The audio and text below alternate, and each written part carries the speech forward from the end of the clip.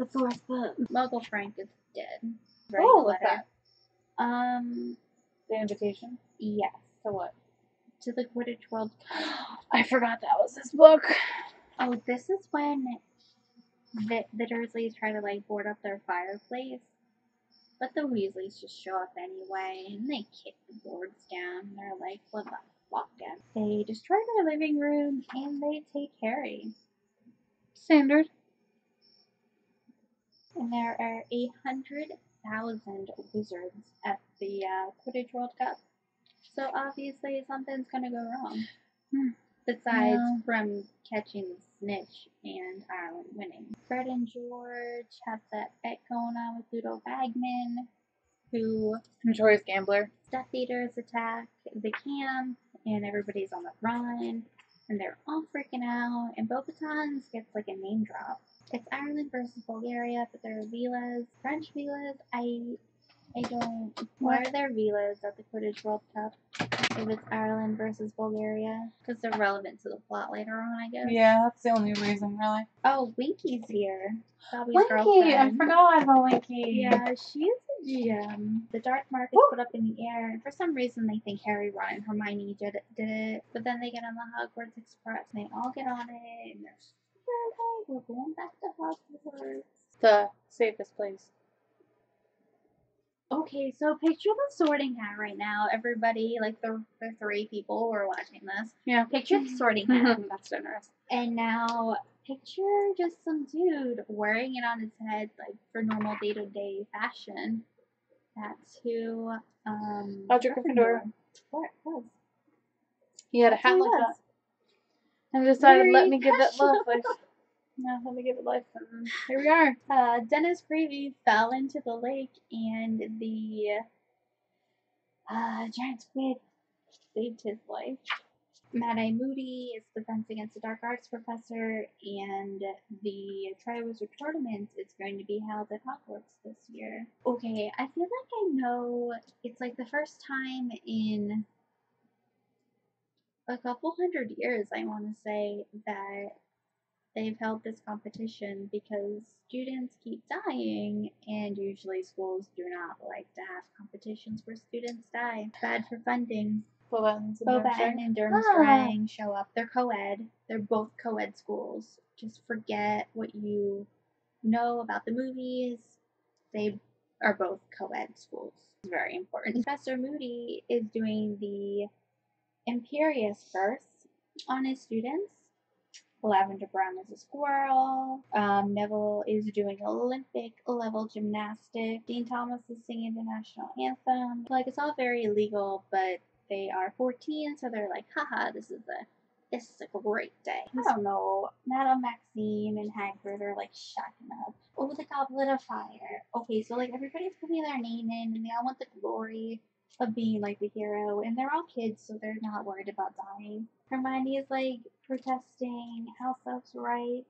Alright, so Fleur Krum Cedric and Harry have been chosen for the four champ four champions. Yes. I just did some math and I am correct because I got confused.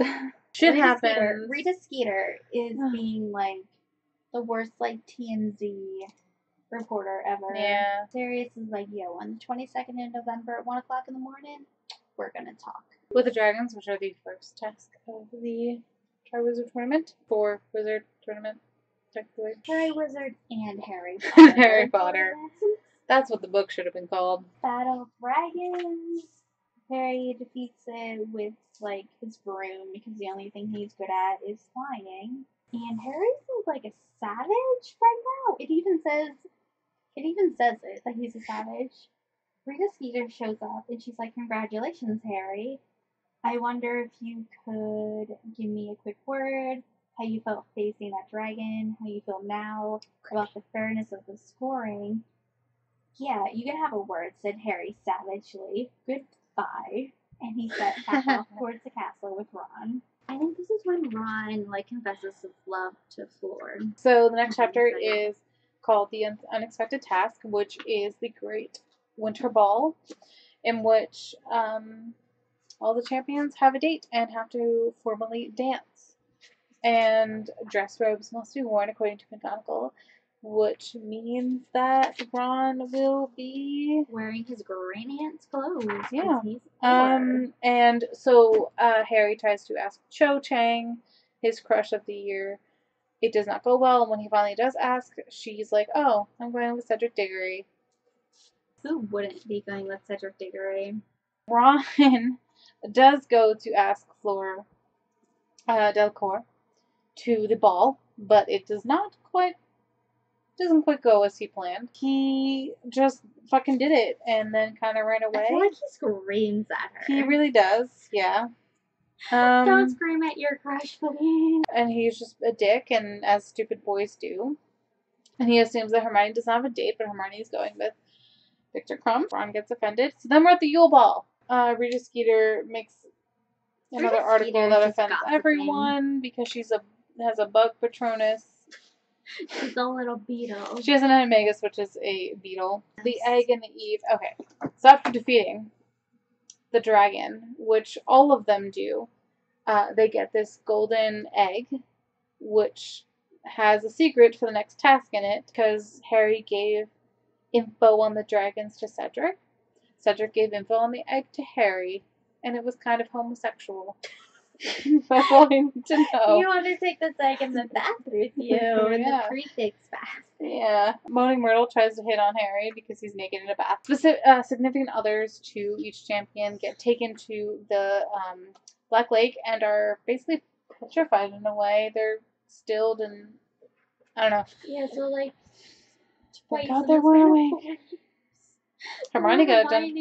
Yeah, they each have one hour to go get their assigned human being and get them back from the mer people. So he saves Ron, and because Flora did not make it through, um, he saves Flora's little sister, Gabriella. Gabrielle. Padfoot returns, where they have a little. twenty second, one o'clock in the morning.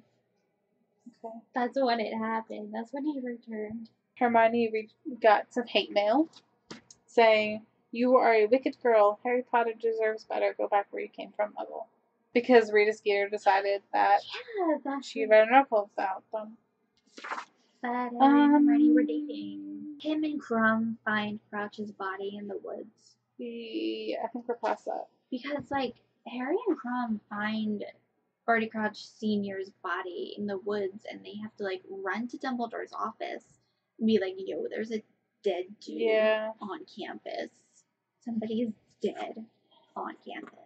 And so Dum- and so Harry goes into Dumbledore's, Dumbledore's office, and then they go into the Pensieve, in which Harry sees the trial of Barty Crouch Jr., where he, well, no, it was it was of um Barty. Crouch Jr. no, but it was of um. Oh, Igor Karkaroff. Thank you.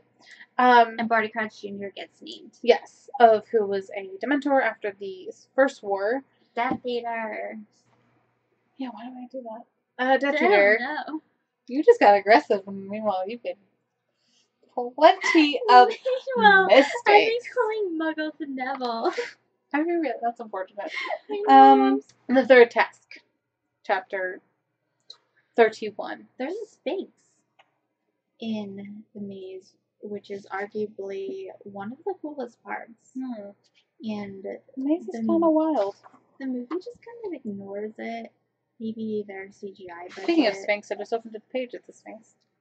it is so cool. Who recited a line, a, a paragraph of information? Oh I guess. I'm waiting. okay. I'm waiting. Okay. okay. First, think of the person who lives in disguise, who deals in secrets and tells not but lies. Next, tell me what's always the last thing to mend, the middle of middle and end of end.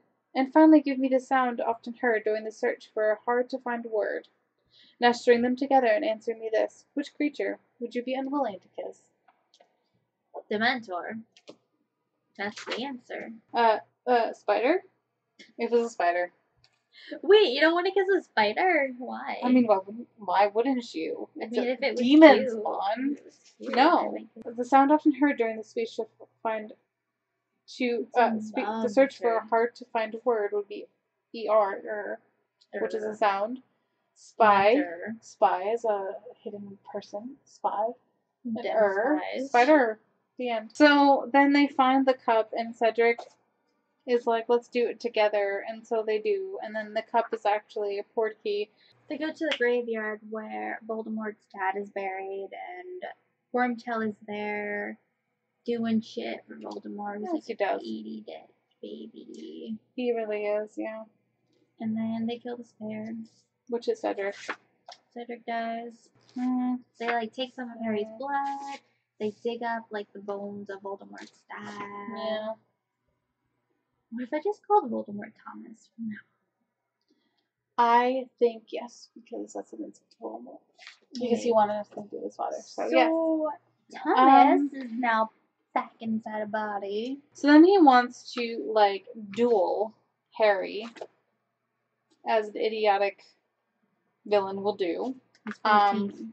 Kid is 14. Yeah, he's not that. He's not that smart. He tries to Imperio him, and then he tries to Avada Kedavra him. So, uh, so then he ends up back at the cup, which is a portkey. Cedric's like, take my body back to my dad. And We don't. I was like, hoping to skip that boy, part. My boy. My boy. um, so yeah, so he ends up back, um, and everyone's like, "Oh, what the fuck?" And so Harry's like, "He's back, he's back, Voldemort," and um, Nobody believes him. nobody believes him. Um, He has a corpse with him, and nobody believes nobody him. believes him because the wizards are fucking idiots. Cho Chang Um, is crying. Yeah, Moody takes him and uh, brings him to a place. What is it? His office. office, yeah. yeah. And he tries to like question him to figure out what happened. Like, if you don't catch on to how sketchy he's being, then, like, I don't know what to say to you. Yeah, so they're super sketchy, and eventually it comes out that he was taking Pledge's potion. He was the one who was taking all the shit from Snape's cupboard, which throwback to like an hour ago. So then everyone figures out, oh, Moody is actually Barty Crouch Jr. Winky definitely throws him under the bus. She doesn't want to, but she does. She does. I opened to the page. Winky um, is like, She's like, "Fuck you," but in mm. elf ways. So Um, she's probably like stabbing herself repeatedly in the gut. like oh Juliet. no, no. He gets arrested. Yeah, that's that's that's what it. They, they find the real Moody at the bottom of like a trunk. Which is very elaborate. He was not doing constant vigilance. He'll be fine, according to Madame Pomfrey.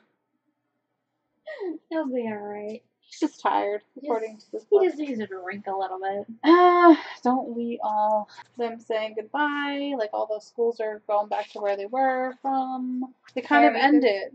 That's the end. That's really the Harry end goes of it. back to his abusive family. As he does every other book.